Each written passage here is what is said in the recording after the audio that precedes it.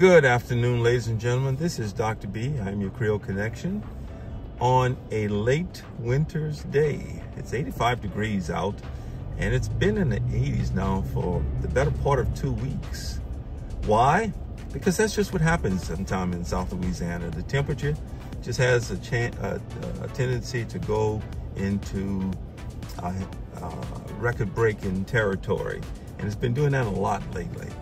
I mean, we have had uh, a series of 80s, 80 degrees plus, and the typical temperature, the average temperature, should be in the high 60s, low 70s. Anyway, as you know, we get out during the springtime and do videos on some of the historical properties here in the South, and we hadn't done any in the wintertime.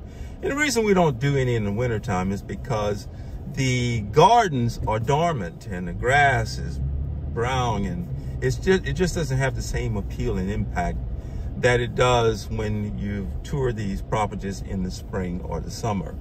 And so given the fact that, as you can see, the grass is starting to green again, it means all the resurrection moss on the oak trees that line these beautiful historical properties is coming back alive. And the flowers are going to be starting to bloom. Butterflies and birds and all that that is going to be back in full force uh, soon. And so we're going to get back out there. So I wanted to uh, just drop a quick video and let you know that to be on the lookout for some of the properties that we did not get a chance to visit last year. We're going to certainly get around to those this year, God willing. So, just an update, and we'll catch you in the next video.